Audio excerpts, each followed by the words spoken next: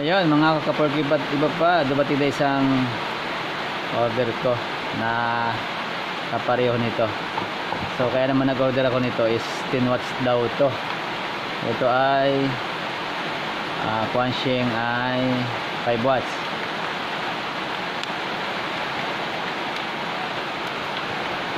Ba? Ah, ito ay 10 watts daw. Ayan. Ayan o, 10 watts. Malaysia. So, titingnan natin kung tama nga. Ayan din, pareho naman sila eh. So, wala siguro tayong problema doon. Okay. Ngayon, ang gagawin ko, kukopyahin ko to. Ito nakalaman dito. Ito nakalaman dito. Dadalhin ko dito, kukopyahin ko. Ayan. Ito, wala pa ito nakasave. Itong sa uh, Motorola, wala pa nakasave yan. Ito tayo sa frequency mode. Oh, wala, wala pa yan. Sa atin ang volume. Frequency tayo. Oh, wala. Okay. So, kukopyahin natin ito nakalagay dito. Papunta dito sa kabila. Kung paano yon ay ganito lang. Kasimple. Okay pag on bago i-on ipe-press muna itong dalawang point na to saka itong PTT magkasabay. Magkasabay ipe-press ito to yan saka ito. And then pagka press nung magkasabay na yan buhayin lang. Ayan naroon na oh. Copy. Ay yung RDY yan siguro ready na yan. Ready to copy. Okay. Ito ang ikokopya. Dito ito naman ang mag mangongopya ito ang magpapakopya so pag ano nyo hindi ganun din sabay din Welcome. Frequency mode. Maya naman, o yan, ganoon din. So, bag, para makopya siya, ang ipipress mo lang dito ay M sa kabila. At dito naman ay exit. Ayan. Nagsisend na. Ay, dapat pala isabay. Wait lang. Oo, makakaroon ng ano. Wait lang, patay na mga natin. Nako, ay may nakopya na ito sa kabila. I-reset muna natin to. Ayun, nakopya na nga oh. Wala pa. So, reset muna natin. Reset.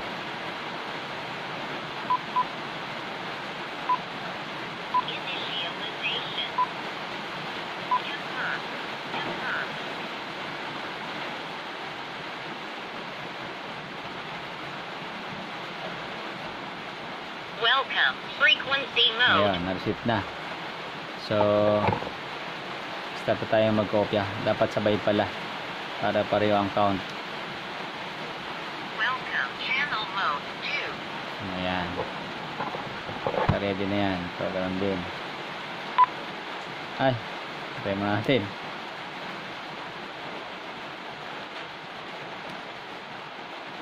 Welcome. Frequency mode. Ayan. So, sabay natin pipindutin. Itong mangungopya ay exit. Ito namang kukopya, ah, magpapakopya ay M. So, okay. Sabay natin pipindutin. No, 3, 2, 1. Ayan na. Oh, para sabay sila. Kasi pag ah, hindi nagsabay, mag-error yung sending tsaka yung receive. O, ayan. 9, 9, 10, 10, 11, 11, 12, 12, 13, 13. Ayun. So, halos sabay na sila. 7, 18, 19, 19, 20, 20, 21, 21. O, yun. Walang namimiss. So, kailangan magkasabay. Okay. Antay-antay natin yan. Hanggang sa matapos ang pangungopya nitong Motorola. At ito namang mabait na Quanshing ay nagpapakopya. So wala pa tayo nakikitang error. Yung tabi na yan E, wala pa, zero. So 44 counting still.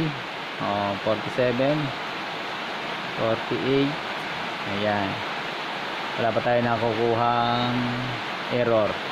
Pag yan ay hindi magkasabay yung M at saka yung exit, may error na mangyayari. Kasi nagsisend na to, ito ay hindi pa nagre-receive.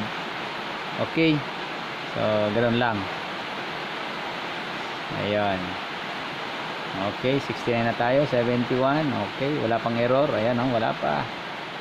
Okay, 74. Oh, 75.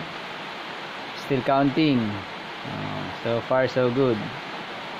Eight- 81 na, 82. So, wala pa rin error. Ayan. 87 na, 88. So, ayun. Wala pa rin error. 91 na. Okay.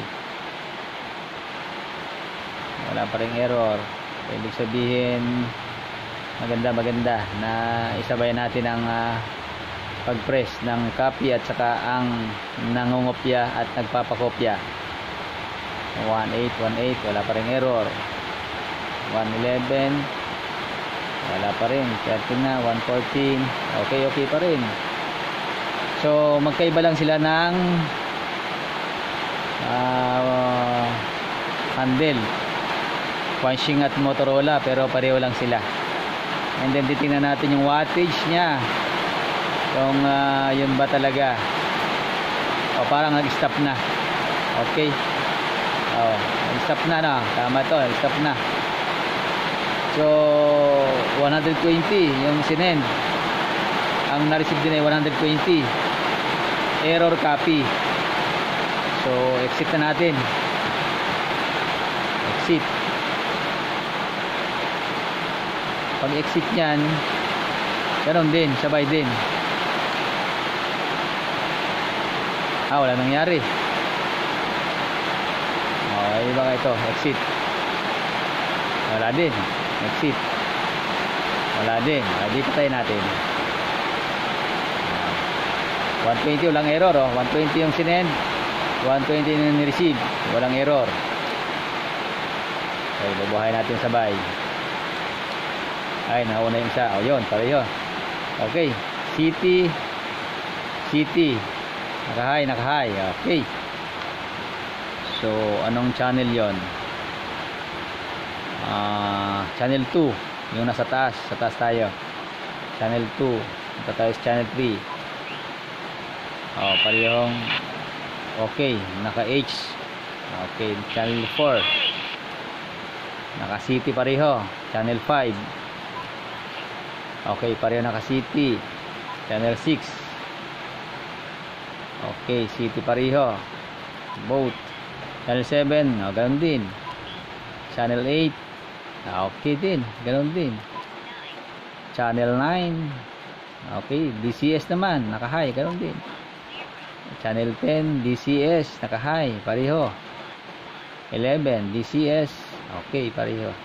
Kasi pag hindi mo ito pinagsabay kanina pag hindi nyo napagsabayan yan ito saka ito yung nagpapakopya at nangongopya pag hindi nyo napagsabayan pag tininan nyo yung parehong ah, record ng magkabila may magbabago sa lal halimbawa naka nakatone ang inyong kagaya ito nakatone nito. Pag hindi nagsabay ito malamang ito yung magiba ang tone magkakaroon ng error. Doon pag may error eh baguhin nyo ulit i-reset nyo kailangan magkasabay itong dalawa. Okay i-reset nyo pag may error itong nangongopya. Makikita naman yun eh. Ah, kagaya nung ah, pinapakita ko sa inyo kanina. Okay ulit tayo. Mm, 11 na tayo. So parehong DCS 12 DCS okay pa rin pareho 13 DCS pa rin okay. 14 DCS pa rin ang ang tone okay pa rin.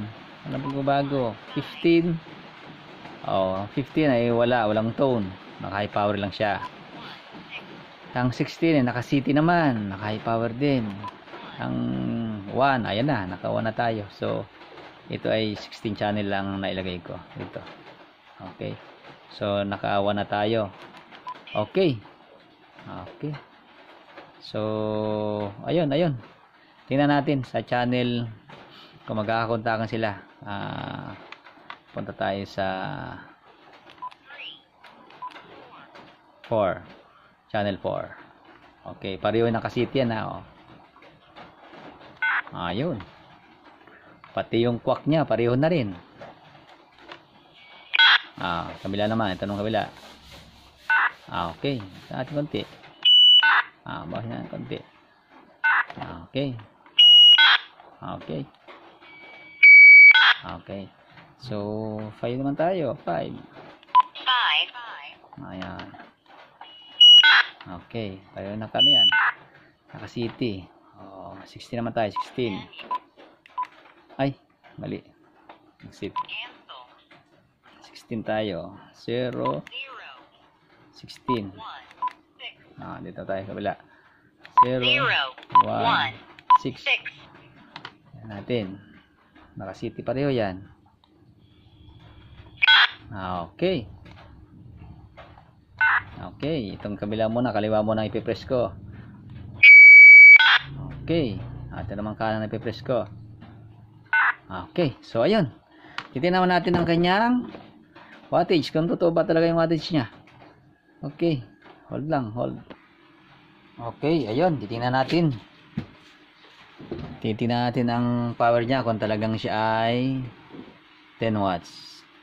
Papunta muna tayo sa BFO. Ayan. So, 1 4 4 0 0 0 Ito muna tayo. Tingnan natin kung ilang watts niya. Ayun, hindi kita. Buhay natin ang ilaw. Ayan. Kapit natin ng konti. Tayo ay pipiga. Ano ba? Sa pila.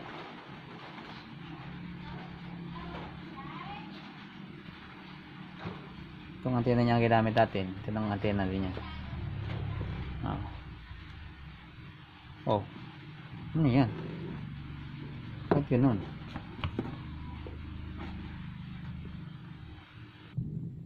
So, ayun, yung itong antena niya ang gagamitin na rin natin kung ilan ang kayang ibato nito. Ang nakalagay dito sa ano to, 18 watts. Subukan natin sa 14400. 144. Ito. Ayan. Oh. Okay. Kung ilan. Oh. Bakit ganon? Parang naglulus. Yan oh. So, nasa 4. 4 something lang siya. 4 watts lang. Sa 144. Yung ganyang SWR, bago-bago gawa ng nandito eh. Tingnan naman natin sa 145.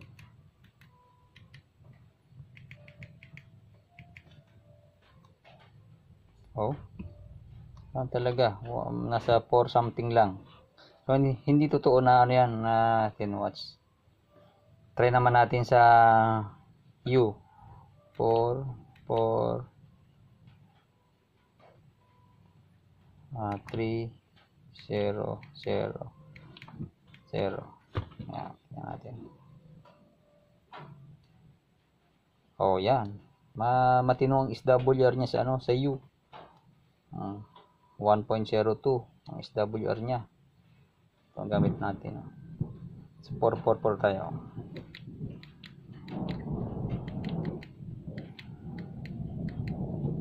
Yun.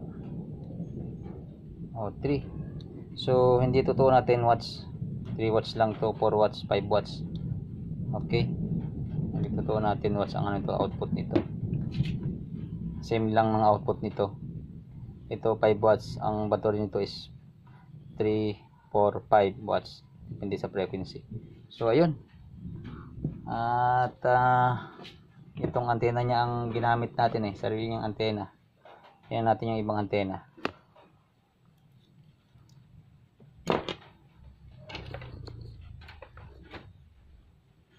Nako, walang connector. Yan. Tingnan natin tong ah, binili ko din sa Lazada na antena nito. Kung ilan ang ibaba nito, ba, ibaba tong wattage nito. Yun. Okay.